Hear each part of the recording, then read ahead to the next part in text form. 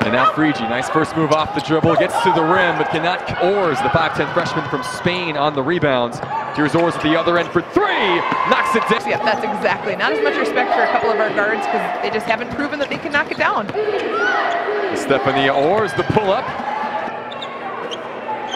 Sam Roscoe on the elbow, stripped. Today, that's not a number we normally see out of North Dakota, but I guess they'll take it if they're shooting 50% from out there. Right back the other way. I did not know his exact words. he used a couple different words, but that's what he said. North Dakota at arm's length, only shooting 28% from the field. Frigi posting up Grace Kenyon. Double team down low. Pass tipped away and now taken away.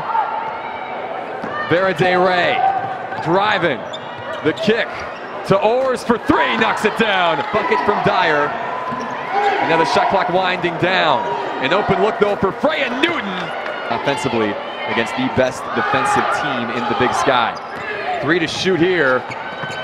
How about Grace Kenyon, just the Vandals 0 for 1 in 19 minutes of action. There. Finish good teamwork by North Dakota.